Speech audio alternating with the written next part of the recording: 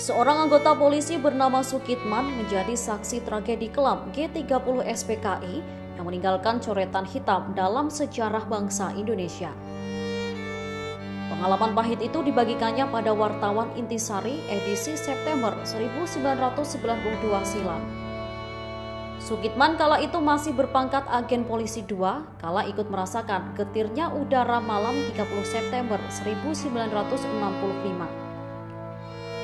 Kala itu ia sedang menjalankan tugas di seksi VM Kebayoran Baru atau sekarang Kores 704 yang berlokasi di Wisma Auri di Jalan Iskandar Syah, Jakarta bersama Sutarso yang berpangkat sama. Di tengah tidurnya, Sukitman mengaku dikejutkan oleh bunyi rentetan tembakan yang rasanya tidak jauh dari posnya.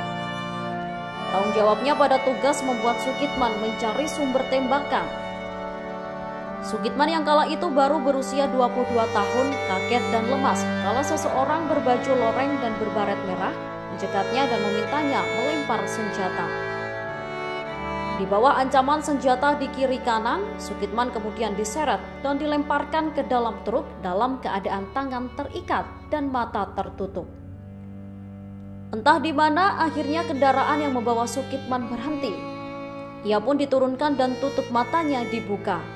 Pandangan Sukitman tertuju pada orang-orang terlentang madi darah, ada pula orang-orang yang duduk dan bersimbah darah.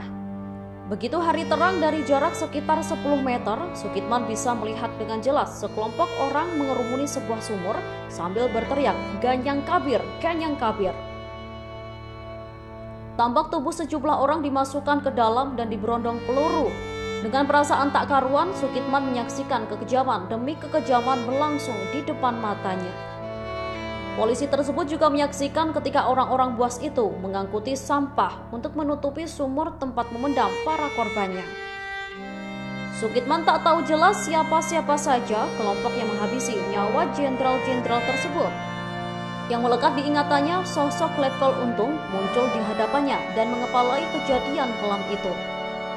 Masih di tengah suasana getir, sekitar 1-2 jam kemudian melalui radio disiarkan Siapa yang mendukung G30S itu akan dinaikkan pangkatnya. Satu tingkat untuk prajurit, sementara yang aktif akan memperoleh kenaikan dua tingkat. Mendengar pengumuman itu, semua yang merasa terlibat bersalam-salaman karena merasa gerakan mereka sukses. Mengira Sukitman bukan musuh, bahkan teman senasib. Jumat sore itu Sukitman diajak menuju Halim bersama iring-iringan pasukan. Sesampainya di Gunung Penas, daerah Bypass, sekarang Jalan Jenderal Ahmad Yani, pasukan itu diturunkan di lapangan, sementara Sukitman masih bersama Dul Arif. Lewat pertemuannya itu, Sukitman akhirnya mengerti kata Ganyang Kabir adalah membunuh para jenderal.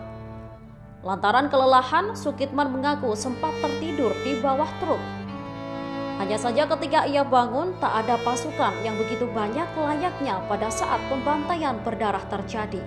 Sukitman mengingat kala itu datanglah pasukan tentara yang kemudian diketahui sedang mencari jejak anggota yang terlibat G30 SPKI.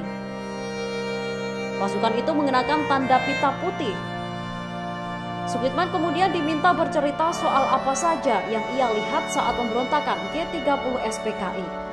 Sukitman juga dijemput dan segera dihadapkan dengan Pangdam Lima Jaya yang waktu itu dijabat oleh Maijen Umar Wirahadi Kusuma.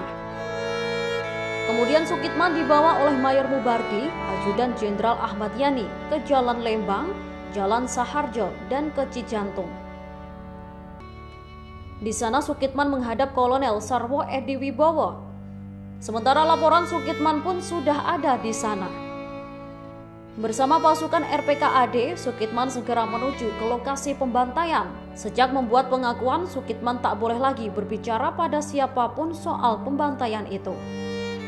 Para pahlawan revolusi akhirnya berhasil diangkat dari sumur dan segera dibawa ke Rumah Sakit Pusat Angkatan Darat atau kini RS Gatot Subroto.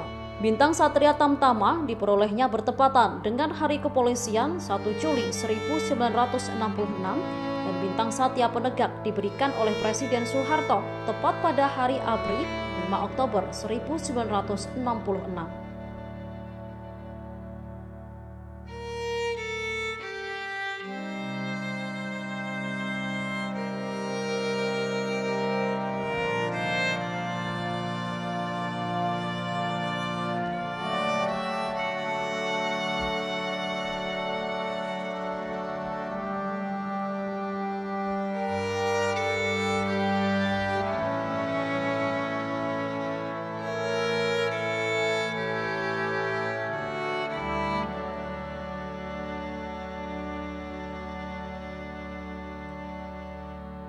Terima kasih sudah nonton. Jangan lupa like, subscribe, dan share ya.